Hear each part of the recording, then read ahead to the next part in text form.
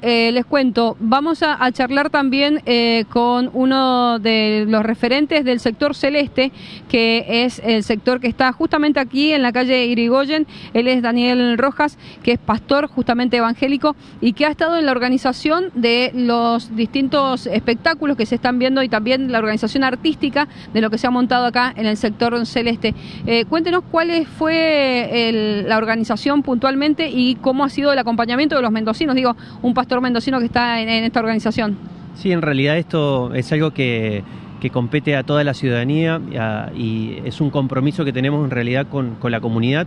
No pasa, aclaro esto, porque mucha gente quizás lo quiere eh, circunscribir a un marco religioso, pero este tema de, discusión tiene que ser responsable y contemplando, por supuesto, eh, la vida sobre todas las cosas. Entonces, como como ciudadano argentino hemos tomado un compromiso, también como por supuesto tenemos nuestros principios, nuestros valores cristianos, también creemos que la vida está por sobre todas las cosas. Bien, eh, hay, como decías, un acompañamiento interesante en cuanto a la cantidad de personas que han ido llegando a lo largo de esta vigilia que se extiende, por lo que pudimos ver desde ayer, eh, por más de casi una semana ya aquí justamente en la calle Irigoyen.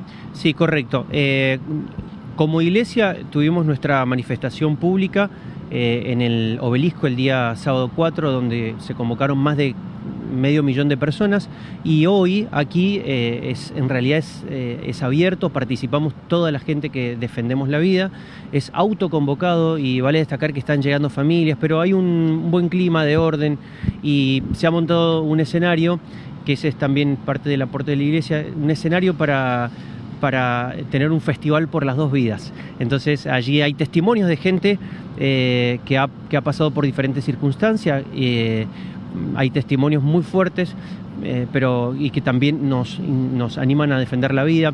Hay bandas, hay bandas musicales que están animando la, fiesta. Y bueno, hay un programa muy rico que va a acompañar toda esta jornada y creemos que se va a extender a, lo largo de, todo el día, aproximadamente hasta las 2 de la mañana. Bien, la tendencia aparentemente irreversible es eh, que el Senado vaya a rechazar este proyecto. Eh, ¿Ustedes creen que se va a poder incorporar algún otro proyecto a futuro que quizás cuando se archive este, este proyecto, si es que sucede eso, el año que viene se pueda llegar a discutir algún proyecto que tenga que ver, por ejemplo, con la despenalización del aborto? Bueno, nosotros tenemos, eh, el compromiso no es, esto no es una guerra, ni tampoco se trata de dividir al país. Tenemos que, como país, también ir, creciendo y tomar el compromiso de con, el mismo fervor, con, las mismas fuerzas que, quizás se están planteando en la defensa de, un proyecto de ley o no, creo que tenemos que sentarnos a trabajar eh, y no mirar hacia otro lado. Quizás tenemos que, nosotros tenemos propuestas muy firmes en cuanto a la defensa, a la educación sexual.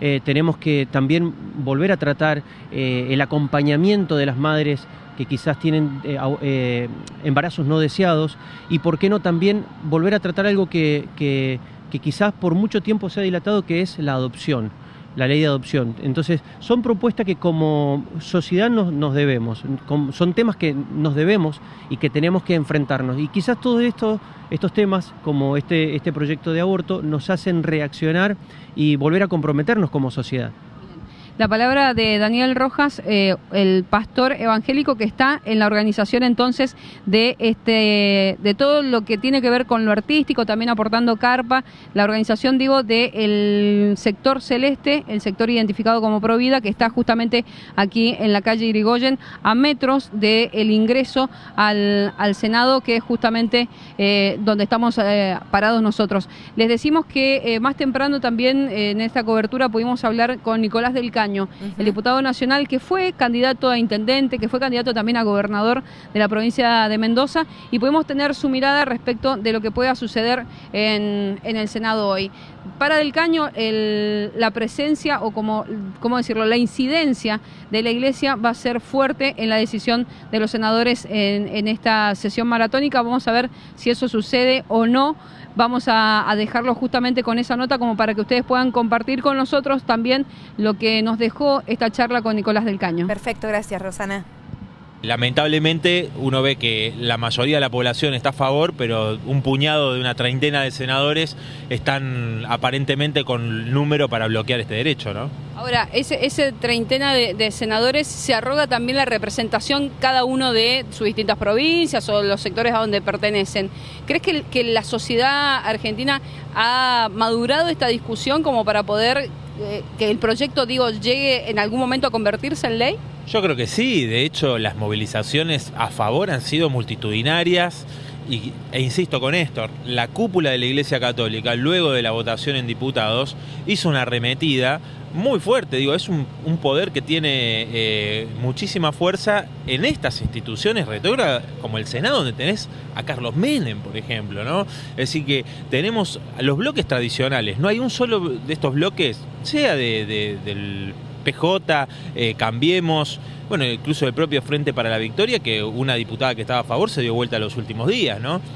Bueno, ustedes lo, en Mendoza también sucedió con, con Ramón en, la Cámara de Diputados. Es decir, se dan vuelta como una media ante algo que es eh, vital, que es la vida de las mujeres, ¿no? Y eso es lo que está en juego. Por eso creo que este movimiento enorme no va a parar, no va a parar y nosotros queremos que, que se avance no solo con el derecho al aborto, sino, bueno, con todos los derechos de las mujeres y también separar la iglesia del Estado.